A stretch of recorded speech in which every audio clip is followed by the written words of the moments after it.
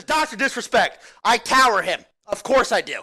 I'm triple his fucking size. Of course I am. Now let's see what would happen if we met in person.